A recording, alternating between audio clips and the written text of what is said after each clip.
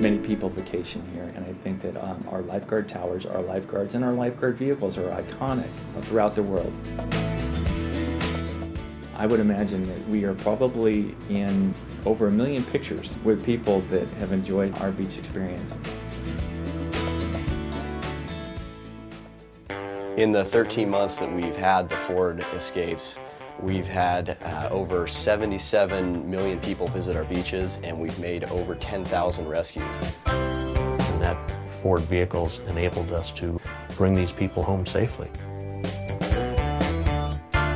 People were constantly asking us about what it's like to have a hybrid or a lifeguard rescue unit. They think hybrid and does it have enough power? That's usually the number one question we get. We really put these things to the test in emergency situations and they've performed well. The biggest curiosity that many of our um, beach-going public had was the silence.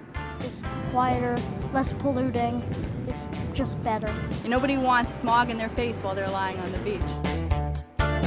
It's one of our mission statements, protecting the environment. We've estimated that we've saved almost $30,000 in fuel costs alone in the first year. It's one thing to save lives, it's quite another to save your workplace while you're doing it. The ocean, the clean air, that's what we're about. That's why people come down to the beach. And uh, we're proud to be part of that solution with Ford.